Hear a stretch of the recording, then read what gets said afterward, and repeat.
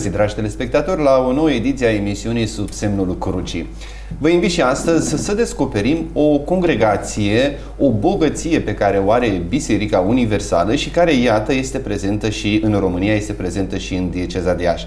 Vă propun așadar astăzi să discutăm și să descoperim uh, despre mica operă a Divinei Providențe, cunoscută în special aici în România ca uh, opera Don Orione. Le spun bun venit invitațiilor mei de astăzi. Mai întâi bine ați venit Părinte Andrei Lorenz, formator la seminarul Don Orione din Iași. Bine v-am găsit și mulțumesc pentru această invitație. De asemenea, alături de noi este și Părintele Iulian Butnaru, din aceeași congregație, doar că el este și președinte ACAR Don Orione din Iași. Bine ați venit, Părinte! Bine te-am găsit și mă bucur să fiu aici împreună. Mă bucur că ați răspuns afirmativ invitației mele și pentru că mi-a rămas acest nume ACAR, mai târziu, pe durata acestei emisiuni, voi reveni pentru a ne și explica ce înseamnă acest ACAR. Pentru început, Părinte Andrei, cine sunt orionini? Orionini fac uh, parte din uh, congregația lui Don Orione, care se numește Mica Operă a Divinei Providențe și sunt, uh, sunt formați din preoți, laici, seminariști și persoane care doresc să cunoască mai mult uh, această, această operă de binefacere a lui Don Orione, care are ca și, și scop tocmai ajutarea celor nevoiași, celor mai săraci din societate. Orionien presupune să fii persoană consacrată sau pot și persoanele laice face, fac parte din acest, uh, această congregație? În, în mod normal, orioninii sunt persoane consacrate, dar și laicii pot face parte din, din această congregație, uh, intrând într-o, într-o mișcare a, a laicilor lui, lui Don Orione. Deci, atât persoanele consacrate, cât și laicii pot să, să lucreze în congregația lui Don Orione. Congregația lui Don Orione, Părinte Iulian. Cine a fost Don Orione? Don Orione, se pot scrie cărți întregi despre el, s-au scris multe lucruri. Ah, Don Orione a fost un sfânt. De când a fost tinerel, de pe la 21 de ani, a fondat și a dat seama de nevoile copiilor, tinerilor care aveau uh, nevoie de ajutor și încetul cu încetul a luat formă această congregație. Don Orione a fost acest un sfânt care de la început el își dorea multe lucruri, dar s-a lăsat deschis să vadă necesitățile timpului său, un timp când statul nu se ocupa în Italia de nevoile celorlalți. De ce perioadă vorbim?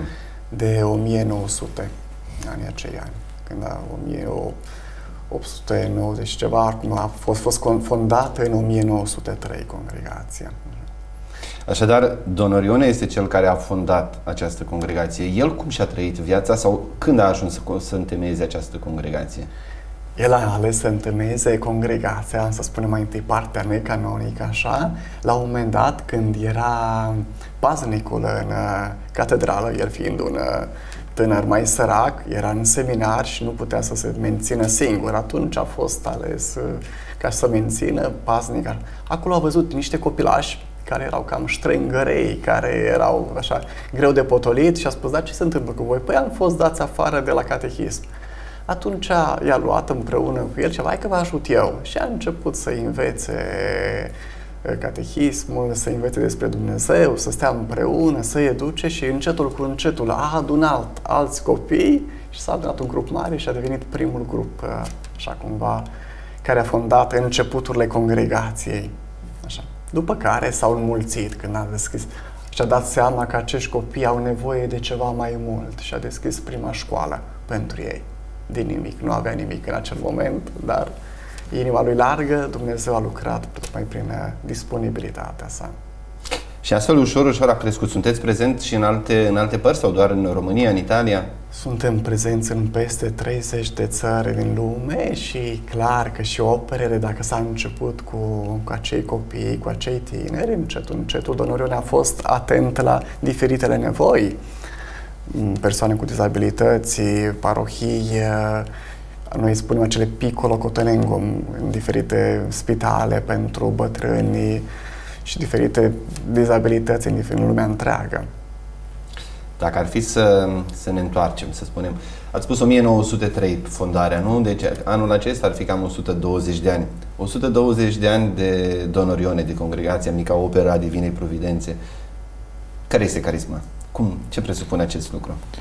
Uh, sigur, carisma lui Donor Ione presupune, înainte de toate, cum spuneam uh, la început, a ajuta pe cei săraci, pe cei, pe cei nevoiași, care uh, au, au nevoie, sim, simt o necesitate în viața lor, nu doar la un nivel material, dar la, și la un nivel spiritual. Așadar, uh, în, într-un mod uh, concret, carisma lui Domnul este tocmai aceasta, de a, apropia, de a apropia poporul lui Dumnezeu de biserică, de episcopul locului și de Sfântul Părinte Papa. De aceea și noi avem și un vot de fidelitate specială pe care îl facem față de Sfântul Părinte Papa. Și această, această carismă are, are în vedere tocmai necesitățile oamenilor care fac parte din biserică, din biserica înțeleasă ca popor al lui Dumnezeu, nu doar biserica catolică, dar biserica care cuprinde tot poporul lui Dumnezeu. Dumneavoastră, Părinte Andrei, faceți parte din această congregație, sunteți preot și sunteți și orionin. Cum ați descoperit uh, această congregație și cum ați uh, urmat pașii pentru a intra, să spunem, mai mult în această congregație? Uh, da, dorința mea a fost uh, aceea de, de a deveni preot uh, încă din adolescență. Practic, după ce am terminat uh, școala generală la mine în sat, în, Mir- în Mircești, îmi doream să urmez seminarul și cu acest prilej am uh, cunoscut congregația lui Don Orione uh, prin intermediul părintelui Valeriano Giacomelli, care la acel timp a construit acest seminar pe care îl avem aici la Iași, după care vom și discuta mai pe larg.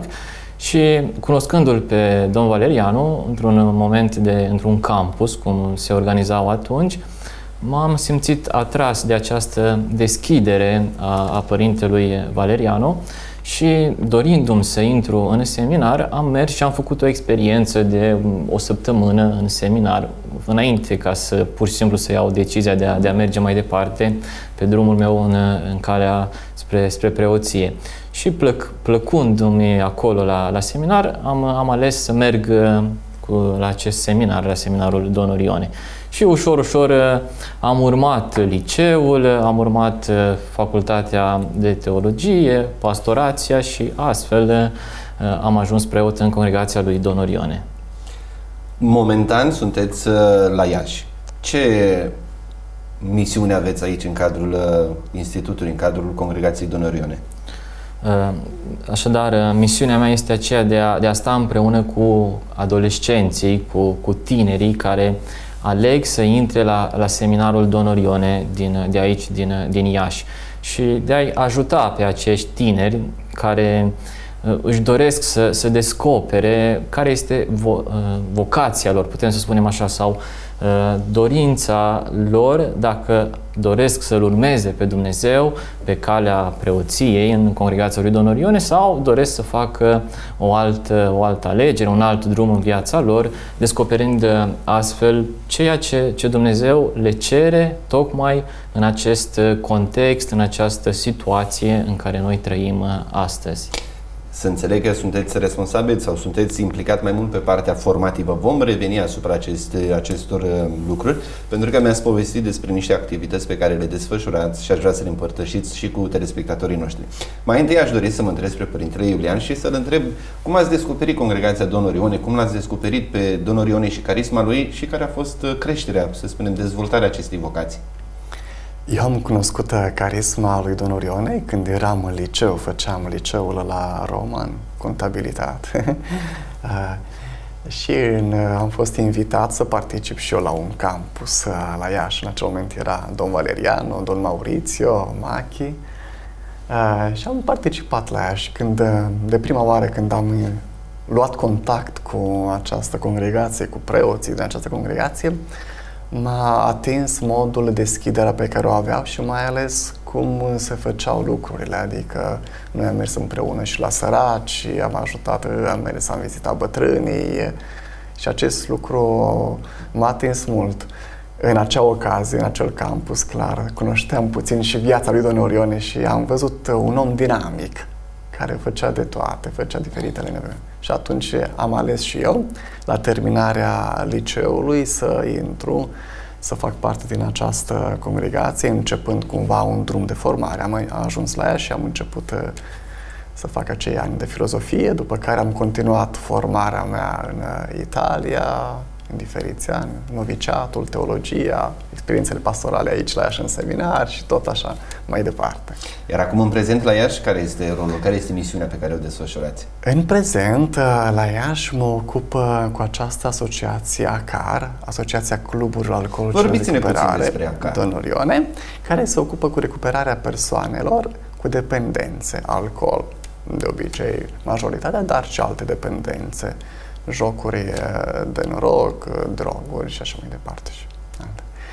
Aceasta eu am ajuns să cumva să fac această slujire din 2016. Trebuie să recunosc că la început am intrat, am început să... Ea, asociația deja era fondată, am început această activitate și credeam că o să fac acest lucru, dar pe lângă acest lucru multe altele. Dar uh, când am luat, uh, când am început să iau contact cu aceste persoane, cu familiile, cu necesitățile care erau, încetul, încetul timpul meu a fost mereu mai dedicat uh, spre această misiune. Pentru că mi-am dat seama că este multă mare nevoie și cumva fiind și în România într-o cultură în care alcoolul este prezent cumva peste tot, în un timp în care familia suferă din diferite motive, mi-am dat seama că chiar este nevoie de acest lucru și de atunci desfășur această slujire. Pe parcursul acestei emisiuni vom uh, reveni asupra acestei teme, asupra Asociației ACAR și chiar mi-ați dat și un filmuleț de, de prezentare pe care îl vom urmări împreună, eventual poate ne și prezentați, ne explicați ceea ce vedem acolo. Mă întorc la Părintele Andrei pentru că, spuneam, se ocupă de uh, cadrul formativ. Uh, la fel, am uh, un filmuleț de prezentare pe care îl, îi rog pe colegii mei din uh, regie să, să-l ruleze pe ecran și v-aș ruga să ne povestiți despre activitățile pe care le desfășurați, ce presupune cadrul formativ de la Donorione. Așadar, în, în imagine avem uh, seminarul Donorione din, din Iași și uh, activitatea principală este tocmai aceea de a-i ajuta pe, pe tineri, pe adolescenți, care își doresc să, să descopere uh, să-L descopere pe Dumnezeu în viața lor și într-un mod diferit decât uh, cel uh, din, din afară, dar stând pur și simplu în seminarul nostru, făcând diferite activități și cum vedem și, și în imagini, știu eu, diferite ieșiri la munte, diferite momente de, de rugăciune. Acolo era un, un caiet de, de memorii în care uh, Anul acesta am sărbătorit 25 de ani de prezență aici în, în dieceza de Iași, al congregației Donorione. Vedem capela seminarului, aici băieții se roagă în fiecare dimineață, avem Sfânta Liturghie, eh, iar seara ne rugăm vesperele, după avem și momente de, de reculegere, momente în care pur și simplu îl descoperim pe Dumnezeu în, în, într-un mod uh, atractiv, putem să spunem așa, într-un mod atractiv pentru tinerii adolescenți din ziua de astăzi. După aici avem curtea seminarului, după în momentul uh, următor vom vedea, îl vom vedea pe Preasfințitul care a venit să ne facă o vizită cu ocazia celor 25 de ani. Sunt diferiți preoți, confrați ai noștri, uh, pentru că în acel moment a fost și o conferință în care uh, tema acestei conferințe a fost tocmai aceea a educației, educația ca formă a carității. Și îl vedem pe Părintele Valeriano, care ne vorbește despre acest lucru, Părintele Alessandro Lembu, care și el a fost pentru 8 ani de zile formator și director al seminarului.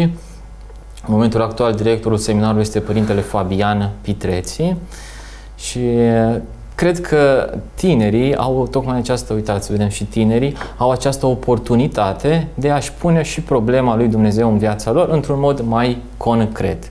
Iar seminarul Donorione este tocmai pentru ei, pentru acei tineri care vor să-și descopere vocația, care nu este neapărat cea de preot, dar este și vocația la viața de familie și vocația la un alt un alt stil de viață, dar important este ca ei să îl urmeze pe Domnul în, în drumul lor de formare. Aici vedem uh, terenul de fotbal, pentru că noi în fiecare an desfășurăm un campionat de fotbal, se numește Cupa Prieteniei, practic parohiile din, din jurul Iașului, împreună cu, cu seminarul nostru, facem această competiție sportivă care are drept scop cunoașterea și implementarea relațiilor de comuniune și de prietenie dintre tineri, și preoți, laici, tot, oricine dorește să participe la acest campionat este, este binevenit. Uh, după vedem uh, diferiți tineri care au venit cu această ocazie, deoarece au fost prezenți tineri nu doar din Iași, au fost prezenți tineri de la București, tineri și de la Oradea, unde noi mai avem încă două case acolo, o casă la Oradea, un liceu, iar la București un uh, piccolo cotolengo, cum ne spunea Părintele Iulian, în care îi ajutăm pe cei care au probleme uh, de, de, cu, cu dizabilități, persoanele care au probleme cu, cu dizabilitatea. Ați avut și un concert da, această după ocazie? A fost, și, a fost și un concert. Uh, practic, uh, în concertul pe care l-ați văzut a fost organizat de un, un fost seminarist de al nostru, cred că pot să și îl numesc, se numește Uh, Edi Roca, care a format uh, această bandă și a oferit un mini concert de o oră în acea ocazie uh, a sărbătorii noastre de 25 de ani de prezență aici în Iași. Așadar am văzut acest filmuleț care acum a început să ruleze din nou pe ecran, dar despre care deja ne-ați vorbit. În principal, activitățile educative sunt destinate adolescenților și tinerilor, dar nu au în vedere formarea strict pentru a deveni persoană consacrată sau pentru a deveni orionin. Sau cei care păstrează legătura cu cei de la Domnul Ione pot deveni membri Așadar, uh, băieții care, care vin la, la noi în seminar au, uh, își doresc să, să-L cunoască mai bine pe Dumnezeu, dar avem în vedere tocmai această latură a, a noastră de persoane consacrate și, evident, de, de seminariști. Dar obiectivul principal este tocmai acesta de a descoperi uh, Uh, vocația lor într-o relație cu Dumnezeu, dar într-un viitor de a face o alegere. Cei care doresc să devină preoți merg mai departe, schimb ceilalți care doresc să urmeze o altă stradă, la un moment dat descoperă că strada lor nu este aceasta de a fi preoți în congregația lui Don Orione și aleg într-un mod liber și cu, cu o experiență în spate, aleg și sunt conștienți de, de viața lor în sensul de a urma o altă cale decât cea a preoției. De aceea ne numim și Seminarul Donorione, pentru că tinerii care vin la noi au inițial o, o dorință de a-L cunoaște pe Dumnezeu, dar nu sunt chiar siguri dacă ei sunt pentru seminar, dacă sunt pentru uh, viața de preoție sau sunt pentru altceva. De aceea seminarul devine un loc al discernământului pentru, pentru ei, astfel încât ei la un moment dat descoperă, da, sunt uh, pregătiți să merg mai departe. De fapt, anul trecut am avut un seminarist, uh, Edi, care a mers mai departe la noviciat la, la Roma. În schimb, alții au ales să meargă la o altă facultate, dar conștienți și împliniți pentru că au făcut o alegere bună, zicem noi, și zic și ei, pentru, pentru ei, pentru viața lor. Așadar, oferiți un mediu, oferiți un cadru în care tinerii au posibilitatea în liniște să-și descopere, să spunem, vocația sau drumul pe care îl au în viață. M-aș îndrepta acum spre Părintele Iulian, pentru că îi sunt uh, dator cu o întrebare. Uh, Dezvoltați puțin acest aspect. Mi-ați spus că faceți parte totuși din congregația Donorione, dar aveți o responsabilitate, să spunem, nu intră în cadrul uh, formativ uh, ceea ce desfășurați dumneavoastră. Vorbiți-ne mai pe larg despre ACAR și i-aș ruga și pe colegii din regie să ruleze filmulețul pe care mi l-ați dat, filmulețul de prezentare. Dezvoltați puțin ce înseamnă acest acronim ACAR și care este misiunea pe care o desfășurați. Iată, această asociație fondată în 2005, cum spuneam, se ocupă cu ajutorarea persoanelor cu diferite dependențe. Dar noi au trecut în acești ani peste, cum vedem din filmuleț, peste 900 de familii cu probleme dependenței. Vă dați seama, dependenți persoanele. Și în această, în cadrul activității, în centru rezidențial, persoanele vin și petrec o perioadă de patru săptămâni în care le ajutăm prin diferite consilieri, așa cum am văzut în filmulețe, teme prin care îi ajutăm să conștientizeze problema dependenței. dați seama, la început noi nimeni nu știe despre ce se întâmplă atunci, prin discuții personale, de grup, discuții cu familiile acestora, îi ajutăm să conștientizeze ce se întâmplă. Iată, în filmuleț vedem chiar diferite imagini cu activitățile, momente de rugăciune care se petrec tocmai pe parcursul uh, acelor patru săptămâni când persoana efectiv stă în centru rezidențial. E un parcurs care cuprinde diferite activități, cum am văzut, cele stricte de ecologie individuale, dar și altele mai distractive, lectură de grup, activități sportive. Încercăm să ajutăm persoana să redescopere bucuria vieții, să redescopere pe sine, să redescopere legătura cu familia, cu societatea, în alte cuvinte. Ehm, dar activitatea noastră nu se oprește, evident, doar la acele patru săptămâni. Persoanele au nevoie de un suport continuu. Problema dependenței nu dispare. De aceea, așa cum vedem în imagini, se vorbește despre grupuri de suport. Persoana este direcționată către un grup de suport unde se întâlnește o dată pe săptămână, pe o perioadă nedeterminată de timp. Și acolo sunt diferite împărtășiri. Se vorbesc bucuriile și durerile fiecăruia. Dincolo de aceste activități, așa cum am văzut în imagine mai înainte, sunt era o activitate la munte, ne întâlnim de câteva ori pe an cu membrii diferitelor grupuri pentru a împărtăși și pentru a-i forma, pentru a vedea care este stadiul lor cu diferite teme. De mai aici eram chiar la Durău aici, eram 70 de persoane într-o activitate foarte frumoasă în care persoanele au venit împreună cu familiile lor și era un moment de joacă și de bucurie. Evident, nu putem face singură această, această muncă măreață. De aceea, de-a lungul timpului, ne-am îndreptat atenția și spre diferite, a forma diferiți voluntari și profesioniști, a-i sensibiliza în diferitele probleme. De ce am format, am organizat diferite cursuri pentru medici, psihologi, asistenți sociali sau alte persoane care au o sensibilitate, care își doreau să cunoască mai mult despre problematica dependenței. Iată că am organizat diferite cursuri de formare și, într-o măsură sau alta, am văzut sunt diferiți voluntari, psihoterapeuți, medici și alt profesioniști care s-au alăturat cumva și însoțesc de aproape munca echipei noastre. Evident, cum vedem în imagini, nu ne, nu, nu ne oprim doar a vorbi despre dependență, dar încercăm să-i sensibilizăm pe ei și la diferite probleme de cea merse, la diferite săraci, persoane cu probleme. Aici, în imagine, vedem un moment foarte frumos. Um, vin sărbători, când vin sărbătorile de iarnă, ne reunim toți în așa zis interclub, în care suntem foarte mulți și sărbătorim și ne bucurăm împreună, ascultăm diferite mărturii.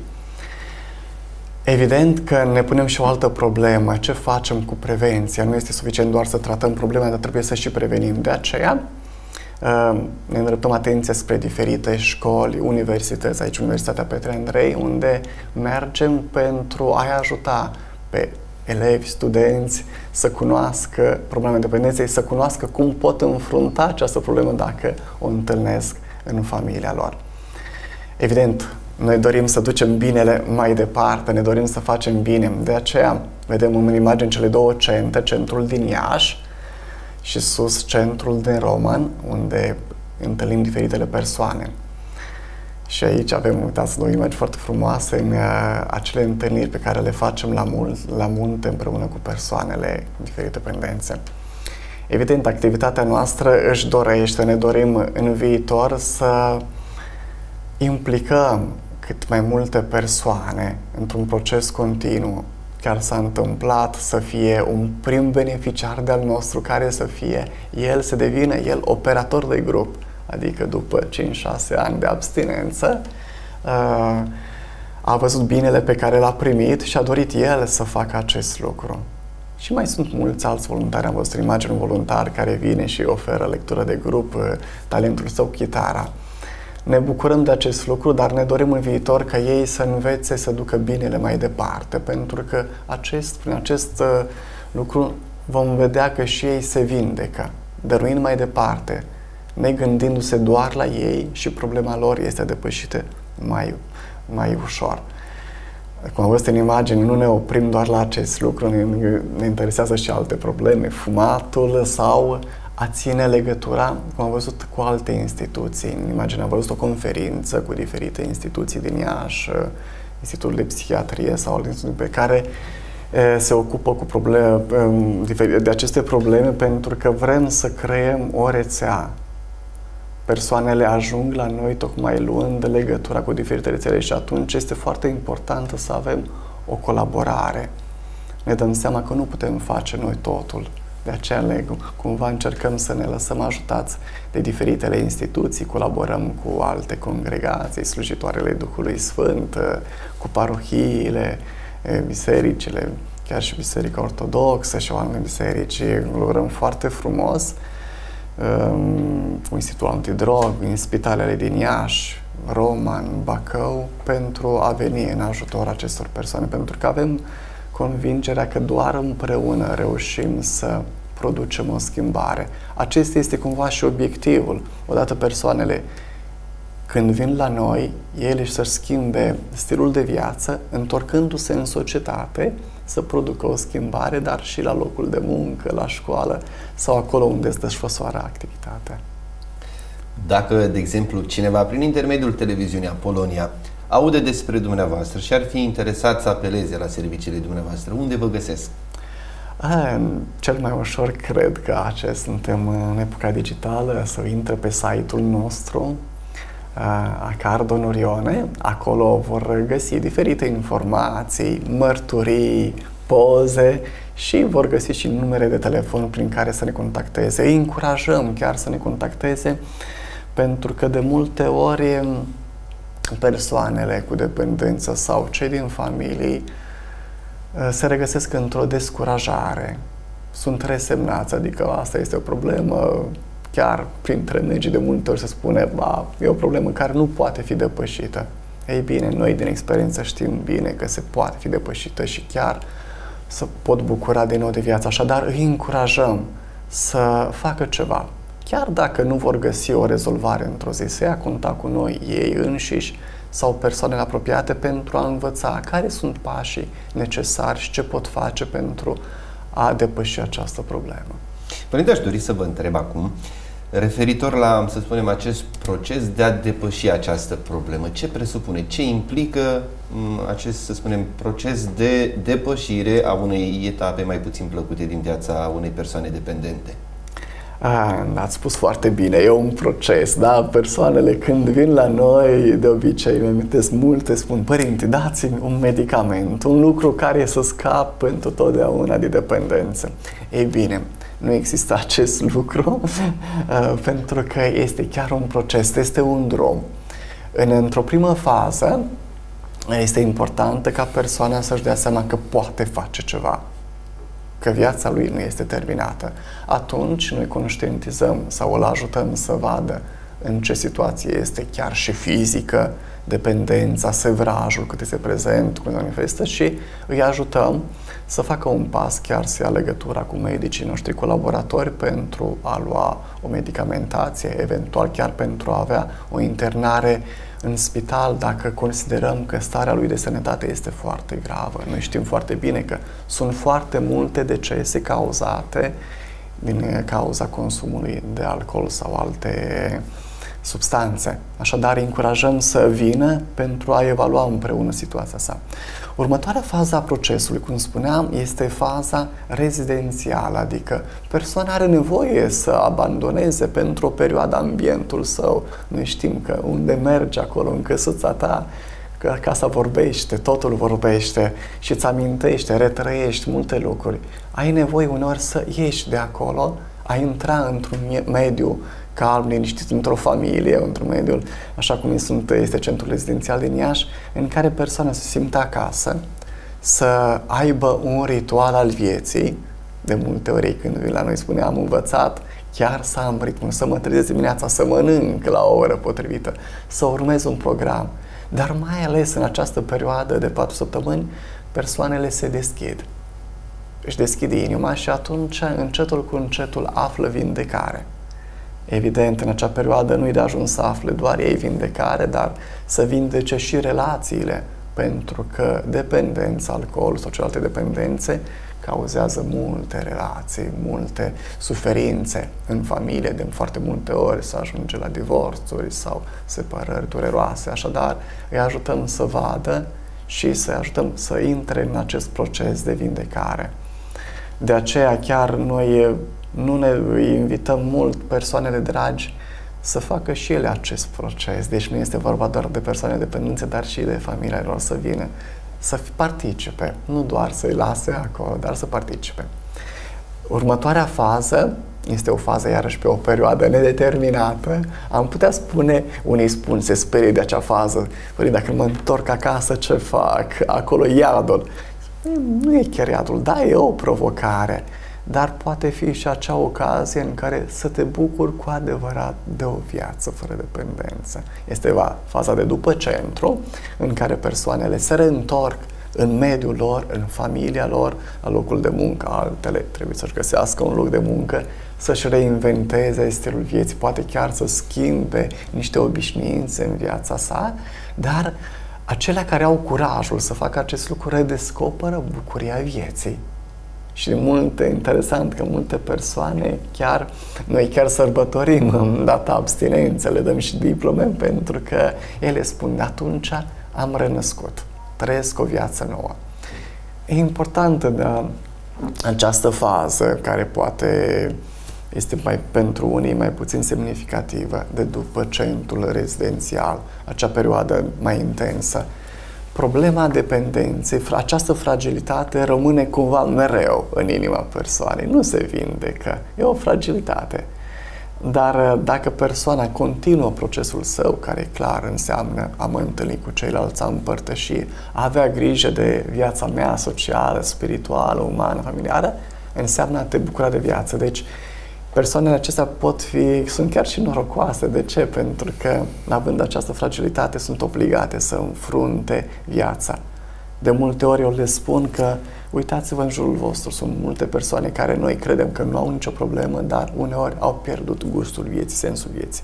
Voi uitați-vă, voi vă bucurați mai glumim uneori, le spunem, uitați, facem uneori când facem acele adunări mari, uitați, noi ne distrăm chiar la munte până la 1-2 noaptea, dar a doua zi ne amintim totul și ne amintim cu drag de acel lucru, nu uităm și nu avem dureri de cap. Iată, asta înseamnă clar o fază în care să ai curajul să renunți la anumit să veghezi.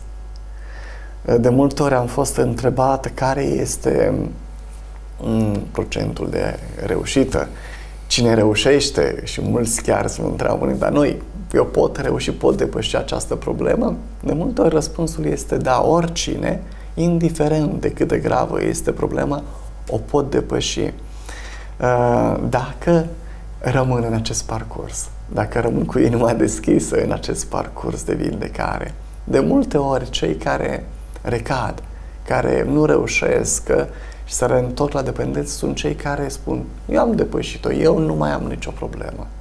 Ei bine, atunci încetul cu încetul intervine monotonia vieții, miliseala și încetul cu încetul dependența și toate celelalte conse- consecințe, pierderea locului de muncă, relațiile întrerupte cu cei din familie, cu prietenii și așa mai departe.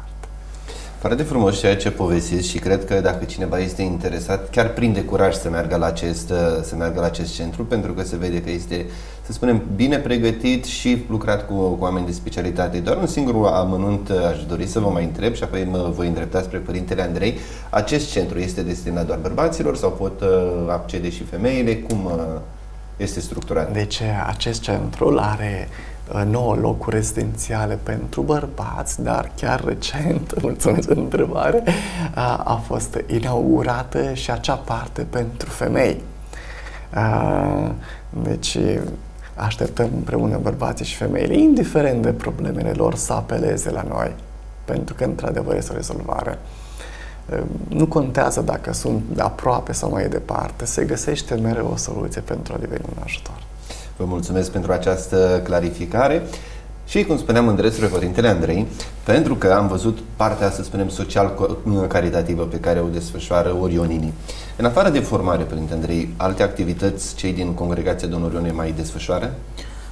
Da, mai sunt uh, activități, cum, uh, cum vă spuneam, uh, la, mai avem o casă la Oradea, unde avem un liceu, un liceu cu circa 700 de elevi, începe de la, de la grădiniță până la clasa a 12-a și tot în cadrul activității de la Oradea avem și o parohie, o parohie greco-catolică, un oratoriu și un, un scout, activitate de, de scout.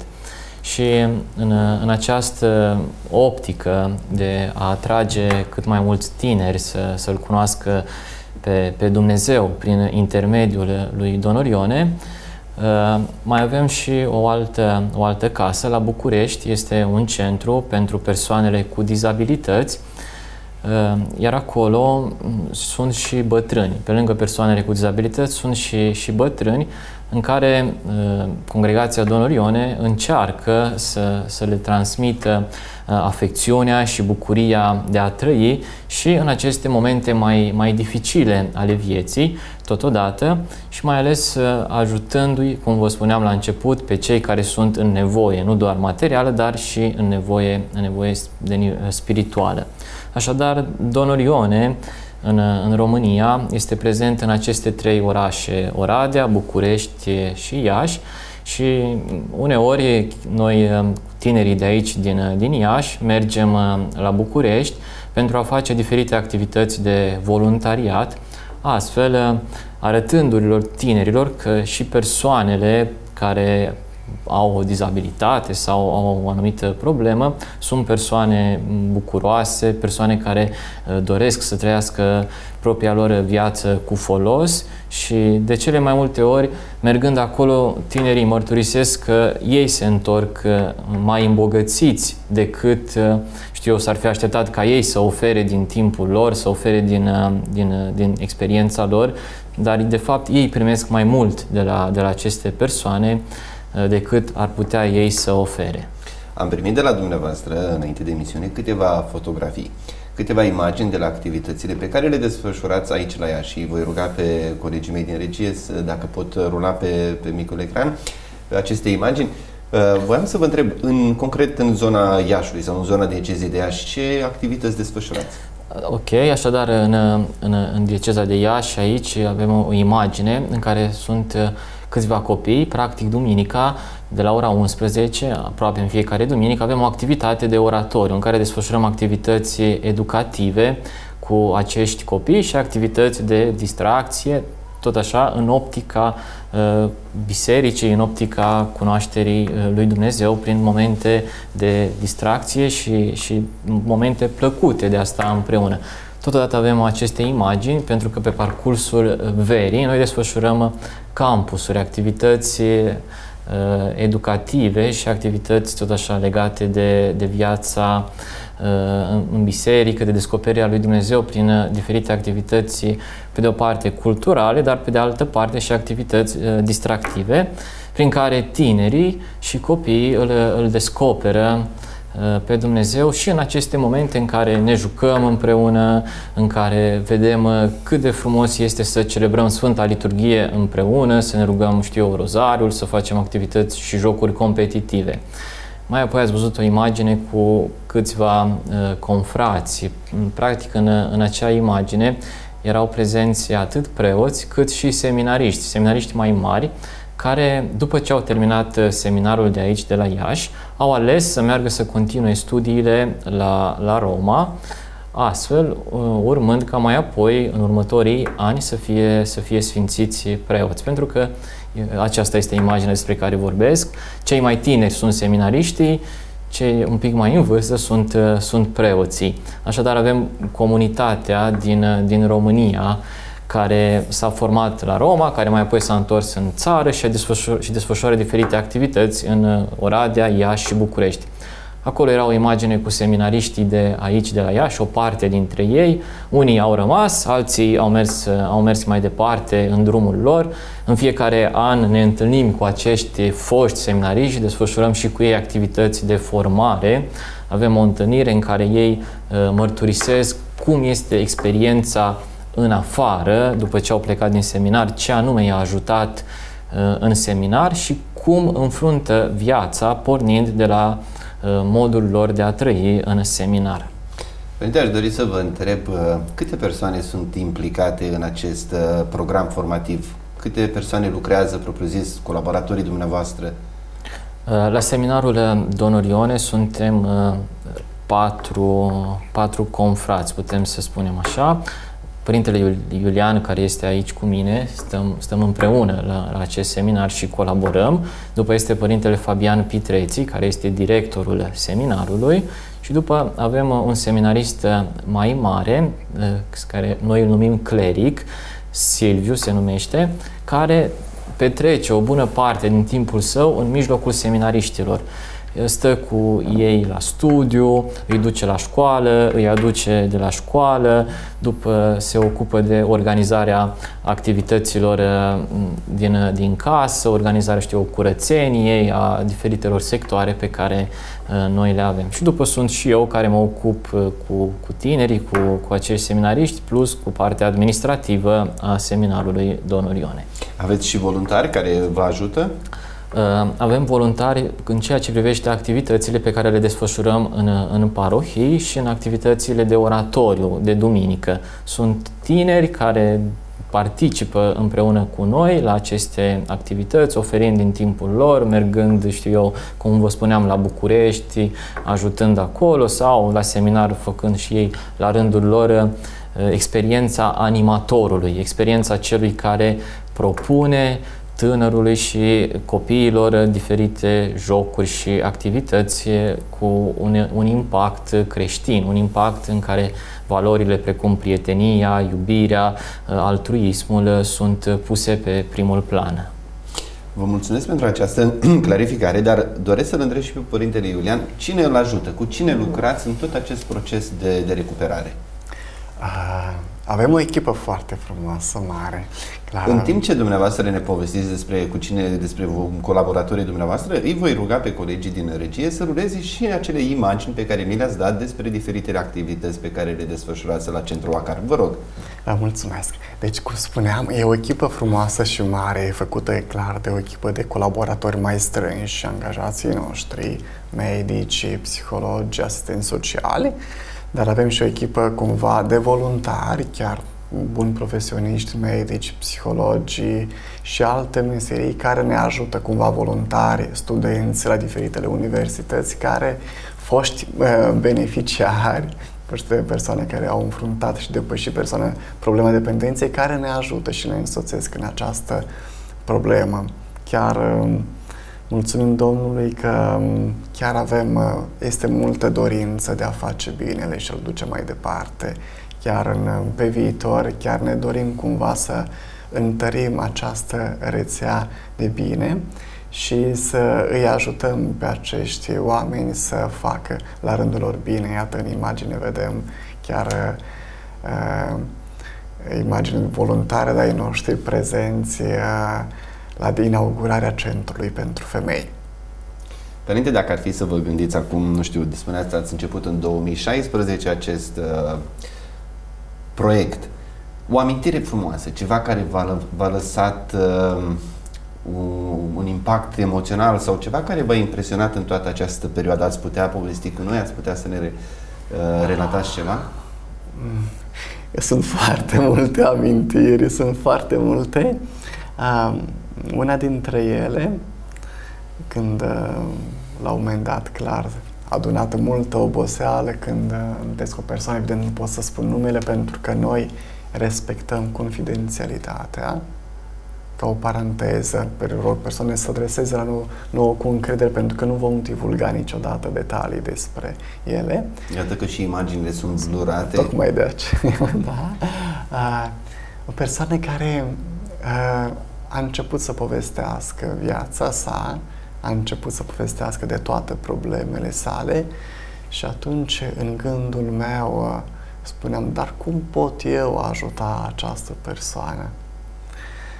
Ajungând încetul încetul pe întrebările pe care o ghidam, am descoperit uh, de fapt că acea persoană era ghidată de Dumnezeu. Adică am întrebat-o, dar ce ai făcut când ai ajuns în momentul tău, când nu mai aveai nicio speranță? Păi uite, am ajuns la, la m-am rugat la Dumnezeu. E, atunci și e, povestind întâmplările succesive, am văzut că chiar Dumnezeu a pus în calea lui acele momente prin care El a ajuns la noi. Atunci mi-am dat seama și în inima mea că chiar dacă situația respectivă părea imposibilă de depășit, dacă Dumnezeu a dus acolo, va ajuta să depășească. Frumoasă această mărturie a dumneavoastră și impresionantă pentru că mă gândesc că sunteți implicat, vă dați tot interesul și văzând că și Providența lucrează, că Bunul Dumnezeu are grijă de creatura sa, este, îți dă curaj să, să continui acest lucru. Dumneavoastră, Părinte Andrei, o amintire din tot acest timp de, de formare, de implicare în formare mai exact. Așadar, timpul meu de formare a fost uh, destul de scurt, aș spune, sunt patru ani de când sunt uh, la Iași, dintre care doi ani am petrecut mai mult în, în pandemie, închis în casă. Dar uh, ceea ce mereu m-a, m-a fascinat în această întâlnire a mea cu tinerii, cu seminariștii, dar și cu tinerii din, din diferitele activități pe care le desfășurăm aici la Iași, este o, o frază pe care o iau de la Don Bosco, care spunea că tinerii uh, Uh, tânărul aparține celui care îl luminează. Așadar, dacă tânărului, copilului din ziua de azi îi oferi lucruri frumoase, îi oferi valorile pe care, știu, o biserică le propune, pe care uh, noi, ca și oameni, le propunem, acel tânăr va fi luminat de Dumnezeu, va fi luminat de aceste valori frumoase. În schimb, dacă tânărului îi oferi total alte lucruri care poate au prea puțină legătură cu, cu binele, cu, cu Dumnezeu, acel tânăr va putea într-o zi, și aici mă voi ajuta de Donor Ione, care spunea că tânărul poate să devină soarele sau furtuna zilei de mâine. Așadar, va putea să devină furtuna zilei de mâine dacă este un tânăr care nu descoperă valorile și principiile adevărate ale vieții sau poate să fie soarele care luminează, așa cum spunea uh, Don Bosco, care luminează și care îi atrage și pe ceilalți care întâmpină diferite dificultăți în viața lor pentru a-L, a descoperi pe Dumnezeu ca un prieten și nu ca un Dumnezeu, știu eu, autoritar sau un Dumnezeu restricționist. Mulțumesc mult, Părinte Andrei. După ce v-am cunoscut și activitățile, v-am cunoscut și personal, iată avem și o imagine despre cum, cine sunteți și ce activități desfășurați. De exemplu, telespectatorii, Părinte Andrei, cu ce se rămână? Cine sunt orionini? Cu ce se rămână după ce v-au descoperit? Uh, da, este, este o întrebare destul de, destul de grea, dar cred că telespectatorii au ce să ia din această emisiune și cred că am vorbit uh, atât eu cât și Părintele Iulian pentru fiecare în parte și cred că ar putea ca fiecare dintre ei să rămână cu ceea ce le-a atins sufletul, cu ceea ce, ce i-a făcut să, să simtă o, o atracție față de oameni, o atracție față de copii, de tineri, față de Dumnezeu și această atracție la rândul lor să, să reușească să o transmită și persoanelor pe care, care le întâlnesc în viața lor de zi cu zi, pentru că viața nu este chiar așa de ușoară, viața este uneori chiar și o provocare, o provocare. Noi ne apropiem de finalul uh, emisiunii de astăzi, de aceea îl voi ruga acum, înainte de încheiere, Părinte Iulian, un mesaj pentru telespectatorii noștri. Un mesaj frumos, așa cum spune numele congregației noastre, Mica Opera Divinei Providență. Domnul Ion a ales să spună Mica, adică Dumnezeu are grijă de noi prin multe instrumente, prin multe opere. Așadar, le spun telespectatorii, Dumnezeu nu i-a uitat. Are grijă de ei, doar să-și deschidă ochii și să se bucure cumva de prezența Domnului, de ajutorul pe care îl oferă prin diferite instrumente și poate Domnul vrea să-l ofere altora și prin ei înșiși. Vă mulțumesc mult, Părinte Iulian, pentru cuvintele frumoase, pentru acest mesaj și pentru faptul că ați participat, ați răspuns afirmativ invitației mele. Mulțumesc și eu. Vă mulțumesc și dumneavoastră, Părinte Andrei Lorenț, formator la seminarul Donor Ione din Iași. Vă mulțumesc. Și eu vă mulțumesc. Dragi telespectatori, am ajuns la finalul ediției de astăzi a emisiunii Sub semnul crucii. Spuneam la începutul emisiunii că vom descoperi o bogăție a Bisericii Catolice. Nenumărate congregații își aduc slujirea în viața Bisericii. Iată că ne bucurăm de cei de la Donul Ione și aici în Iași și la Roman, să ne bucurăm de ceea ce ei ne oferă, să apelăm la serviciile și la bunăvoința lor și de ce nu, dacă îi vedem pe stradă, să-i salutăm, să, îi, să intrăm în dialog cu ei. Eu vă mulțumesc că ați rămas și astăzi alături de mine la această emisiune sub semnul crucii și vă dau o invitație și săptămâna viitoare la aceeași oră la emisiunea sub semnul crucii. Până atunci, toate cele bune!